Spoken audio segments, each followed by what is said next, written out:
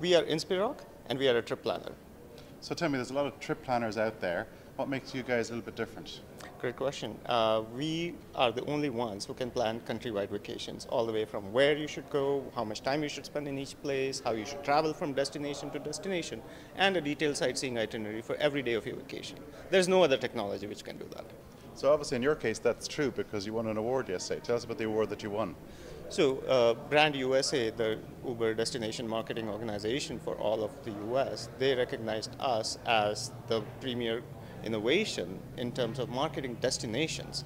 Uh, Inspirock is also syndicated and is powering trip planning at various sites and particularly suitable for DMOs, which is what we got recognized for. And of course, we love that. So tell me, your first time at Phocuswright, second, third time? This is our third time and having a great time. So always in the US, have you done any of the international Phocuswrights? Uh, we've done two in LA and one in uh, Miami. Excellent. And tell me, the, the experience of Phocuswright, obviously you've come back a few times, so it obviously works for you. It's the networking, being on stage is good as well. Yes, the networking is excellent. Uh, it is very professionally run, and uh, the amount of infrastructure and the work that happens behind the scenes at Phocuswright to help meetings and conversations possible, uh, we haven't seen any other travel conference which does that.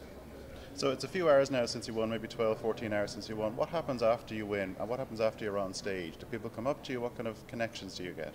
Uh, we were busy until 2 a.m. last night, just responding to everybody who, who wanted to talk to us and just uh, saying thank you for everybody who wanted to congratulate us.